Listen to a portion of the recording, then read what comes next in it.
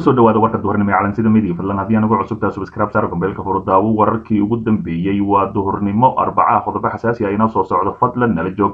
Madaxweyne waare oo kulamo xasaasiya wada islamarkaasina la kulmay wasiirada hirshabeelle ee beesha hawiye. Si kastaba ha ahaatee wasiirada uu la kulmay ayaa waxa uu kala hadlay xaalada cakiran. Maalmihii la soo dhaafay ayuu kulamo xasaasiya ka wada magaalada muqdisho asigoon la kulmay qatar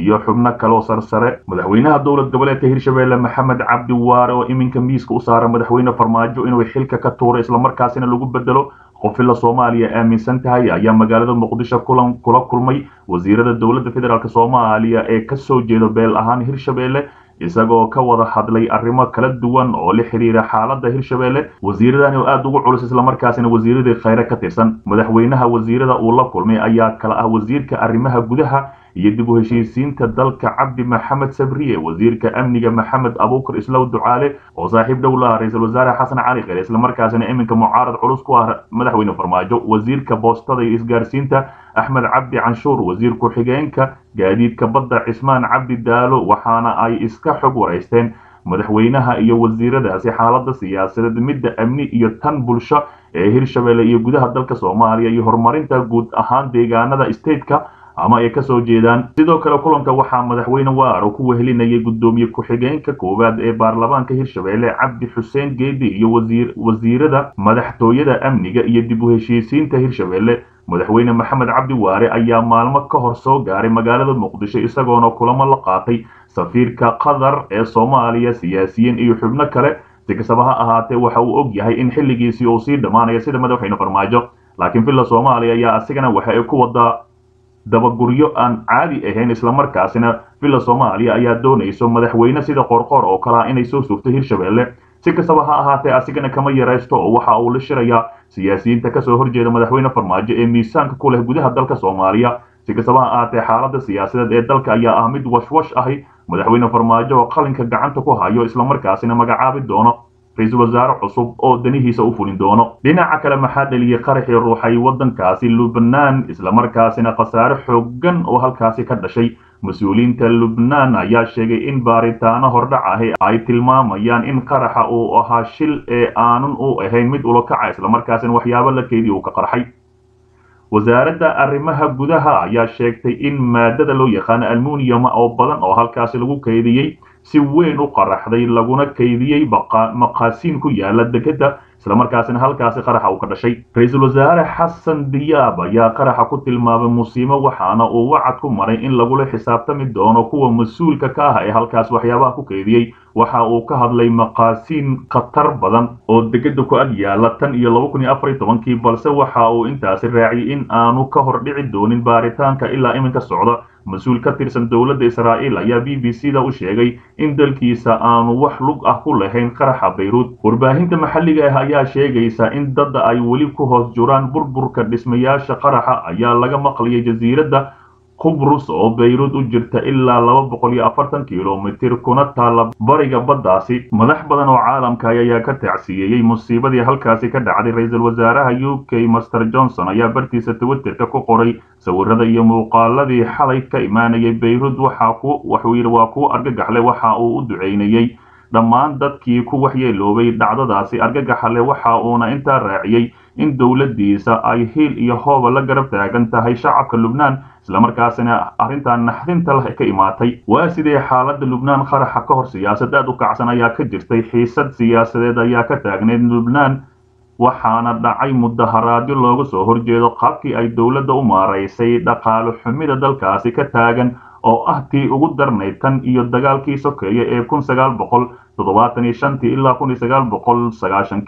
inta badan shacabka ayaa dhaqaale xumida u aaneynaya madaxda dalka muddada soo hogaaminaysay ee keeni waayey isbeddel xal u ah dhibaatooyinka waddankaasi ragaadiyey. Shacabka dalkaasi ayaa la taalaadhacaya koronto la'aan iyo biyoyari iyo daryeelka caafimaadka oo aad u liita qaraxa ayaa ka dhacay meel u dhow halkii lagu beegsaday ra'iisul wasaarihii hore rafiiq xariiri oo shan iyo toban sano ka hor lagu dilay gaari waxyaabaha qarxa laga soo buuxiyey islamarkaasina halkaasi uu ku dhintay. Si kastaba ha ahaatee xaaladda lubnaan ayaa iminka aad u kacsan islamarkaasina waxaa jiro dad aad u fara badan oo ilaa iminka laga baadigoobayo dhismaha ku soo dumay halkaasi. Dhinaca kale mahdi guuleed qatar oo telefoonka kula hadlay ra'iisul wasaaraha lubnaan kadib qaraxyadii dhacay ee halkaasi musiibada ku noqday sihayaha xilka ra'iisul wasaaraha soomaaliya mahdi maxamed guuleed khadar ayaa khadka teleefoonka kula hadlay ra'iisul wasaaraha dalkaasi lubnaan xasan diyaab waxa uuna uga tacsiiyeyey dadkii ku dhintay qaraxyadii xalay ruuxay magaalada bayruud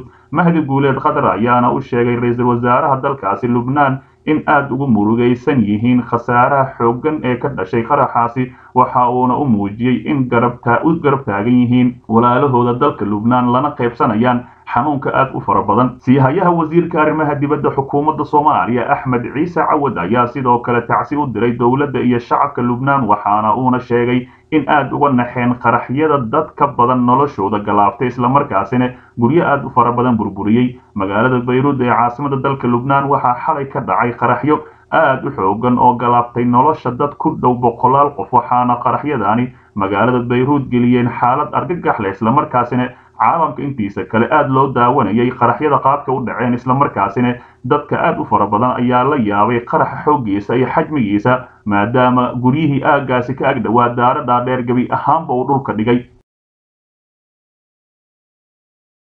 Xog xasaasiya mooshin ay diyaarinayaan xildhibaanada baarlamaanka federaalk soomaaliya islamarkaasina la doonayo in madaxweyne farmaajo xilka loogu kordhiyo hase ahaatee arrintaasi ayaa iminka waxaa la sheegayaa shirar kala duwan inay leeyihiin xildhibaanada taageersan madaxweyne farmaajo islamarkaasina hal mar ayaa la doonaya in mooshin la hor keeno baarlamaanka kadibna loo codayo in laba sano loogu daro madaxweyne farmaajo. Xog xasaasiya xilliga ay xildhibaanada baarlamaanka federaalk soomaaliya qorsheynayaan in muddo kororsiga ay meel mariyaan ayaa la ogaaday. Ilawareedyo lagu kalsoon yahay oo ka tirsan baarlamaanka soomaaliya ayaa calansida media uu sheegay in baarlamaanka iyo xubno ka tirsan villa soomaaliya ay qorsheynayaan in dib loo dhiga doorashooda soomaaliya laguna dhawaaqo ka hor magacaabista ra'iisul wasaaraha cusub ee soo socda ee soomaaliya. Wararka aan helayno ayaa sheegaya in madaxweynaha iyo guddoonka baarlamaanka golaha shacabka ay isku afgarteen in aan la magacaabin ra'iisul wasaare cusub oo deg deg ah ilaa ay sameeyaan muddo kororsi sababtoo ah waxay sheegeen in ra'iisul wasaaraha cusub ay dhici karto inuu diido muddo kororsi islamarkaasina ay mar kale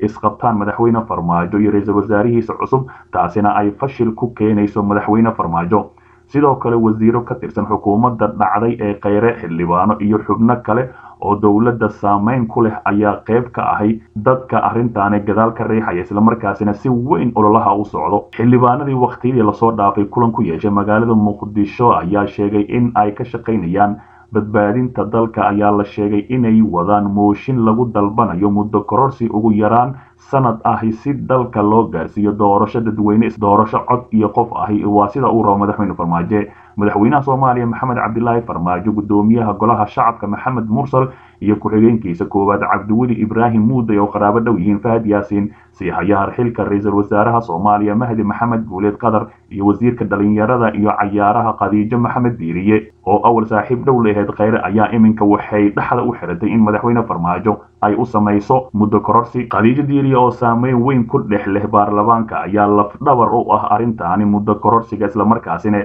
maryaha ayay u dhigatay in ay madaxweyne farmaajo ay muddo kororsi siiso dadka magaalada muqdisho degan ayaa arrintani aad u hadal haya islamarkaasina meelaha fadhi ku-diriiryada hoteelada siyaasiyiinta ayaa aad u hadal haya waxaana dorad shirkii mudulood ka sheegay wasiirka amniga soomaaliya xildhibaan maxamed abuukur islaw ducaale islamarkaasina sheegay xildhibaano badan oo hoteelada ku shiraya islamarkaasina muddo kordhin raadinaya. Tan iyo markii uu sheegay ayaa waxaa sii korortay in xildhibaanada gooni gooniya u shiraan islamarkaasina ololaha ay wadaan waxaa mugdi ku soo dhacaya mustaqbalka soomaaliya oo soo kabasho ku jiray labaatan sano ee la soo dhaafay haddii ay dhacdo muddo kororsi sida ay aaminsan yihiin. Dad badan oo samadoonayaal ahi waxaana ugu wacan farmaajo oo diidan inuu qabto doorashada dalka ka dhacday maadaama si nabdoon asiga doorashadii oo ku soo guulaystay hase ahaatee haddii uu doorasho qaban waayo waxay noqonaysaa gursi jaceyl islamarkaasina dalka haddii uu wax ku yimaado farmaajo ayaa la qabsanayaa. Dhinaca kale wasiir goodax barre oo amar adag dul dhigay dugsiyada sare.